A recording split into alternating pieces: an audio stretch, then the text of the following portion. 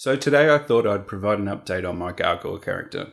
This is the original model I paid someone on Fiverr to design for me in Blender, but I've since walled the model and made holes for the eyes using Meshmixer. Then I started printing. I had some issues joining the body with epoxy. About a year later on, it's all flaking off and it's unreliable. I also didn't think about long term use and access to the body itself for easy repairs or upgrades.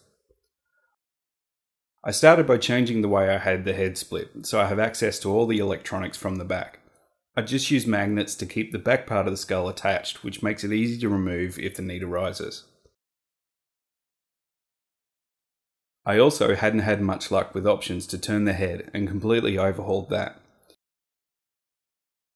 Here is the new neck plate that has a bearing and spacer attached so I can push a PVC pipe through it to act as a spine.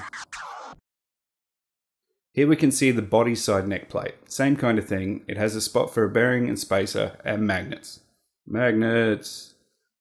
This time around I've added joining mounts for the models. For the body you can see where I've included holes to insert 6mm dowels to help with the alignment prior to gluing.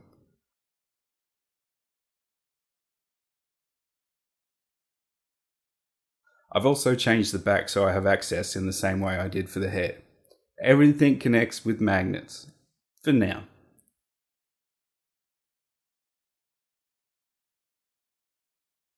Back to the head, you can see the same allowance I've left for the 6mm dowels.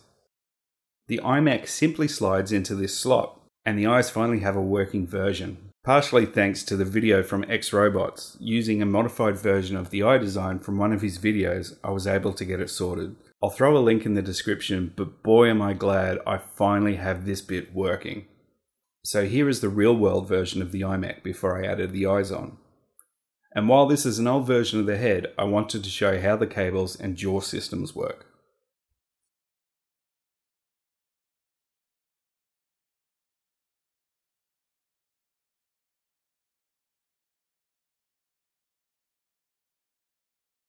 This NEMA 17 stepper will control the rotation of the head.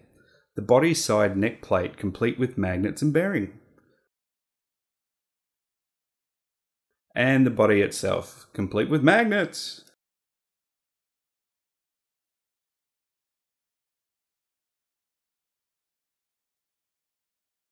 And dowel inserts, and I haven't glued this yet.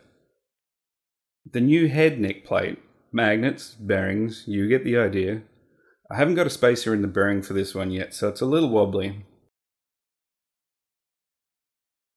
So in theory, this is how it should all work.